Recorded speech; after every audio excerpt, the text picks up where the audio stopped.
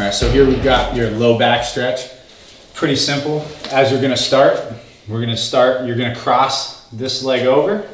All right, you would do it both sides. You're gonna reach your hand around over top, sit up nice and tall and proud, and then push through your elbow, your shoulders so they're nice and parallel with your lower leg. That's gonna hit your low back and some of your glute.